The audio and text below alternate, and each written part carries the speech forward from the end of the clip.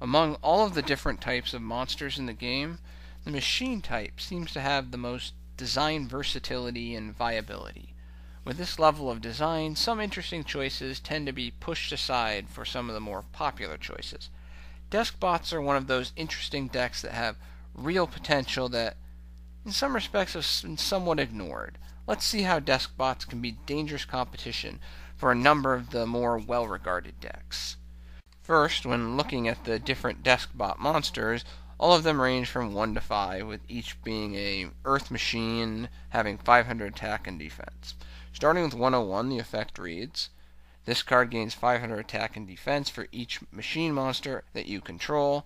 If two or more machine monsters are special summoned at the same time while this card is in your graveyard, except during the damage step, you can special summon this card. 001 is the heavy hitter in this deck, jumping to 1000 attack when it's by itself on the field, and it has the capacity on its effect alone to jump to 3000 attack and defense with a field full of monsters, which is not that difficult to achieve in a properly constructed Deskbot deck. The special summons from the graveyard effect is also helpful, largely because it's not restrictive to only a single copy, but extends to all copies of 001 in the graveyard. Also, this card works both when you summon the machine monsters or when your opponent special summons them. This card can drive Qliphort players a little nuts.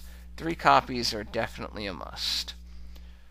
Moving on to 002, its effect if this card is special summoned, you can add one Deskbot card from the deck to your hand. All machine type monsters you control gain 500 attack and defense except this card. 002 is the searcher of the deck, and it's an incredibly reliable one that can produce numerous pluses due to the lack of a once per turn restriction on its search effect. While the attack augmentation is nice, it is secondary to the search effect as even if three 002s are on the field, their total attack only reaches 1500. But both effects are nice, and three copies is definitely appropriate. Among the five Deskbot options, 003 is the most important monster in my opinion.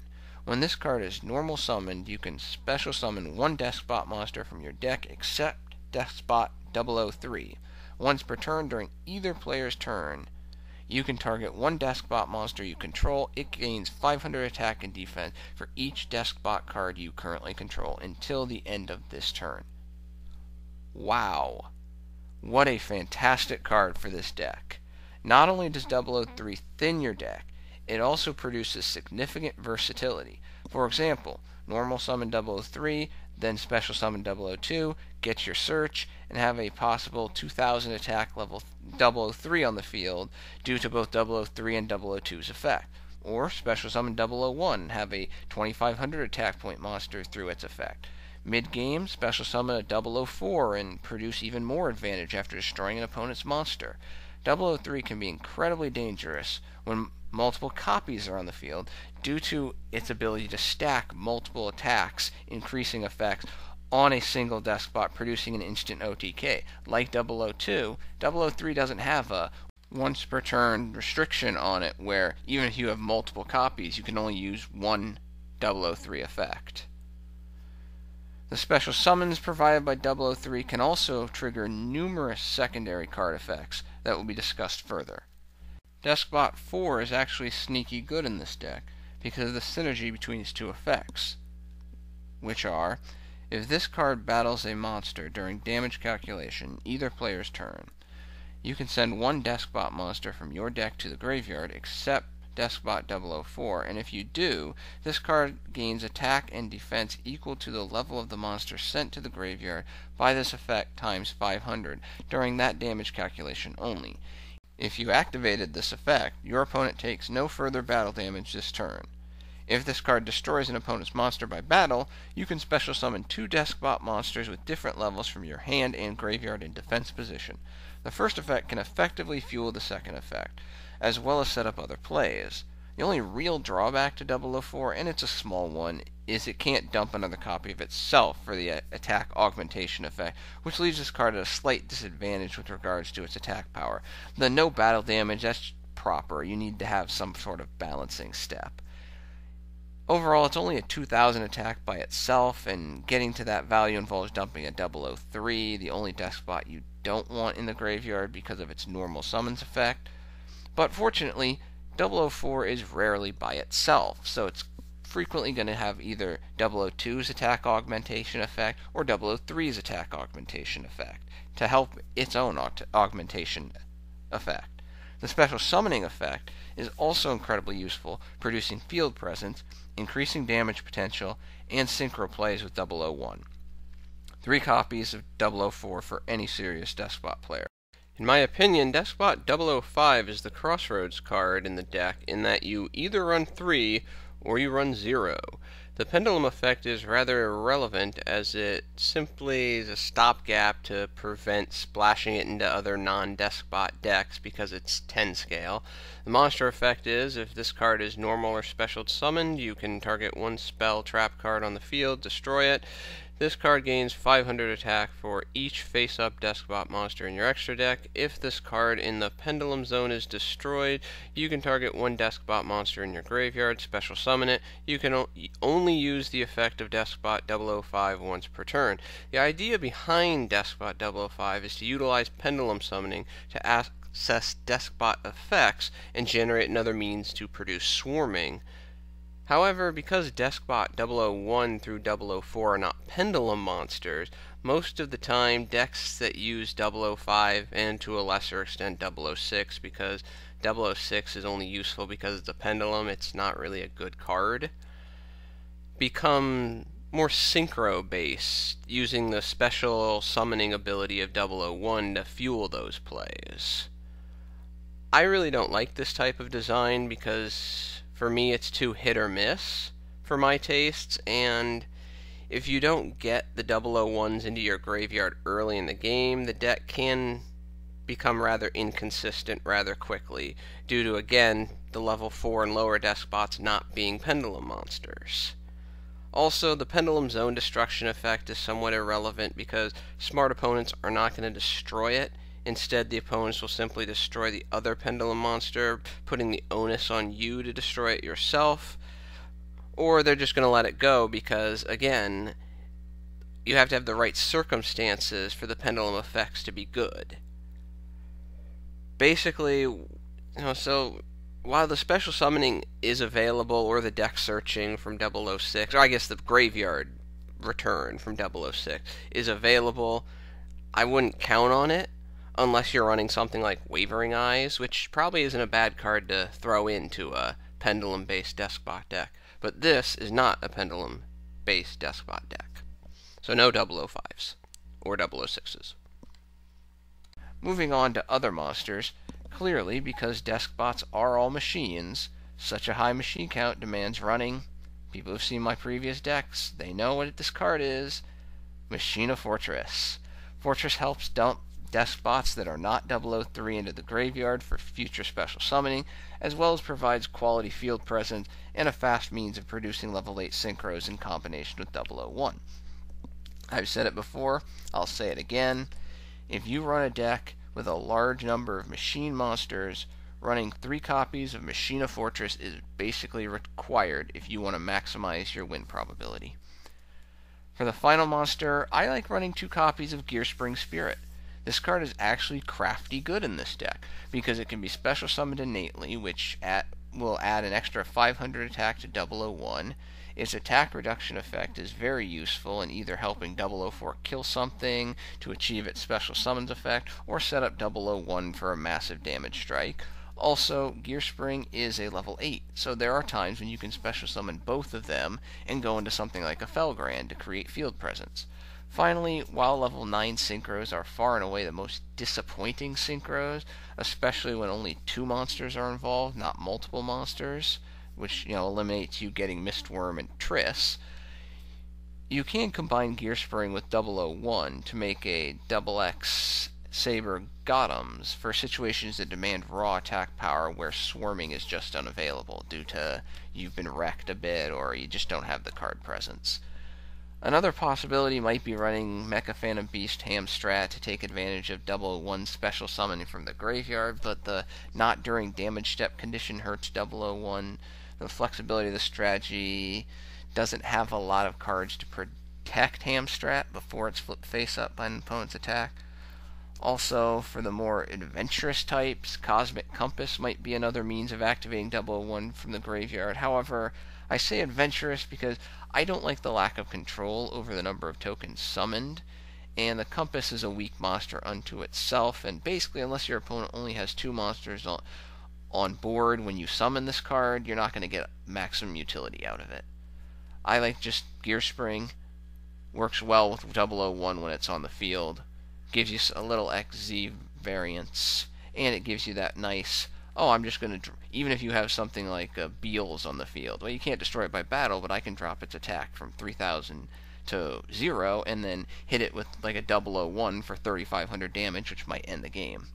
When looking at this deck, the swarming potential and necessity of swarming is obvious.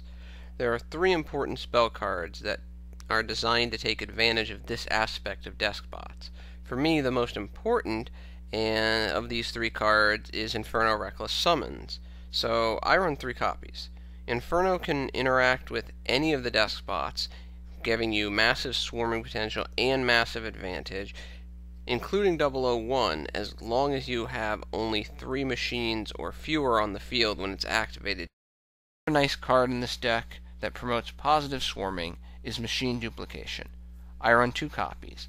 And the reason I don't run three copies is that unlike Inferno Reckless Summon, there is a less effective utility for duplication, thus it has the potential to be a negative draw at certain times.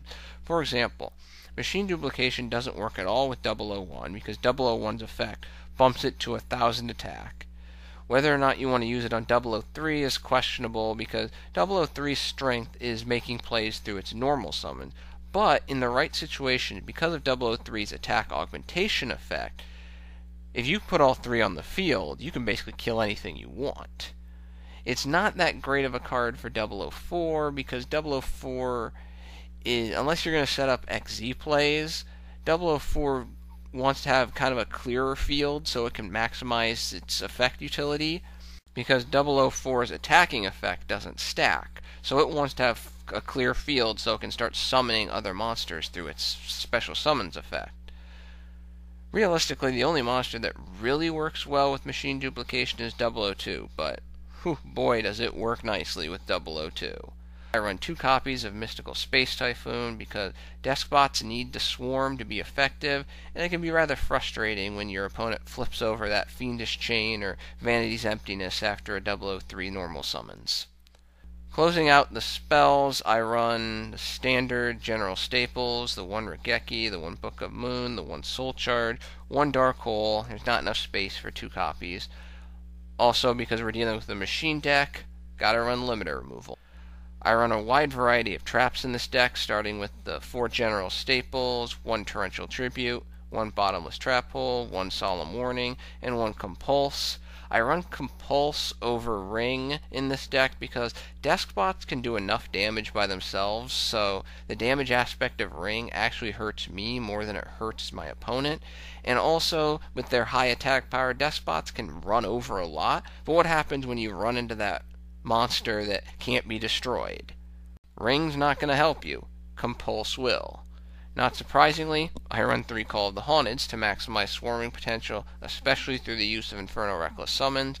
Finally, I run two copies of Traptrix Trap Hole Nightmare to ward off those big key monsters like both versions of Trishula, the Traverse, and the other common annoyances for that this deck runs into like Castels, 103s, especially 103s, Excitons, and XYZ Dragons. Finally, I used two copies of Liberty at Last, which is a sneaky tech card that can change the game on a dime because sometimes you're not going to get those cards you need to swarm. You're going to look at, you know, it's like, oh man, I got two one, 002s in my hand. I really can't do anything with this.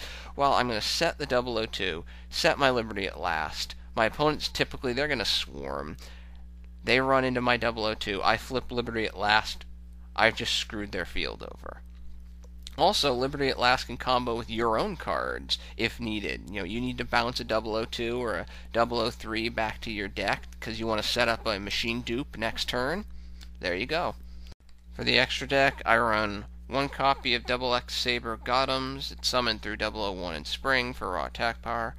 One Stardust Dragon. You have to negate those field clearing effect cards like Mirror Force, Dark Hole, Exciton Knight. They ruin your day. One Yazi. Yazi is almost always welcome in my extra deck when level 7 synchros are a possibility. One Clearwing Synchro Dragon, nice field presence card. One Armades, because Deskbots don't neutralize monster effects. One Naturia Beast, that negation really hurts opponents. One Hieratic Sun Dragon Overlord, targetless destruction.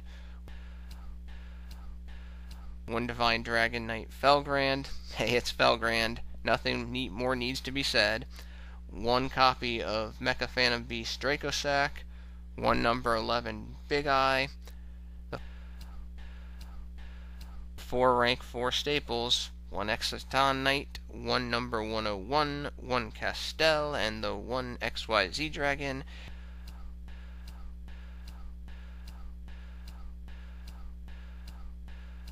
And finally, I run one Skycav because the 002s are designed to search. They're not designed really to sit on that field and do some damage. Their 500 attack power, yeah, it can be nice, but I'd rather have bring out a Skycav and do some bouncing. Before wrapping up, there are two other potential cards that I don't run due to concerns I have with efficiency that others may be interested in. First is the third aforementioned spell card, Transmodify, which can rank up the Deskbots, so to speak. However, I'm not a fan of Transmodify because turning a 001 into a 002 is the only real meaningful play Transmodify can make consistently on its own. Pairing Transmodify with Inferno Reckless Summon is powerful, but I prefer Machine Duplication, and I do not have the inclination in my deck to run all three, so for me, Transmodify gets the boot. The second card is Chain Summoning. Chain Summoning in combination with a normal summon 003 can produce an OTK scenario that creates a 5 monster field with two 003s, two 002s, and another Deskbot of your choosing. However, Chain Summoning is rather inconsistent in this deck outside of that combination with 003, and the 003 combination doesn't produce a guaranteed win because you can run slam slam right into a mirror force, so I choose not to run it. Finally, I don't run Deskbot Jet because if the deck is not a pendulum build, which this deck obviously is not, I feel that Jet isn't worth the resources that you have to invest in to get it for its effects. Playing Deskbots does take a little getting used to, but they can be very destructive when played properly. The rest of this deck is designed to ensure proper special summoning potential as well as provide a defensive structure to produce field clearance and maintain field control. The thing you'll find that can be especially annoying for your opponent is that once Deskbots establish a level of field presence, they can be rather difficult to get rid of via battle because 001 will typically be a 2500 or higher attack point monster. 003 can amplify everybody's attack, basically guaranteeing your your opponent's going to need multiple monsters to do anything. 004 can go from a base 500 up to a 2000 plus with any augmentations by 002 or 003. With mass removal commonly low priority for most decks for some reason, when this deck gets going, which doesn't take much, it can be a beast. Although I don't talk much about side decks, I would side in a few Dark Bribe because I've always felt Dark Bribe is one of those hugely underrated cards because everyone says, oh my god, you're letting your opponent draw. Oh, well, we can never use this. If I'm letting my opponent draw one card, but I'm stopping a Raigeki that would kill four Deskbots, I'll take that 100% of the time, thank you. Well, this is my Deskbot deck. Thank you for your attention and your time. I'm out.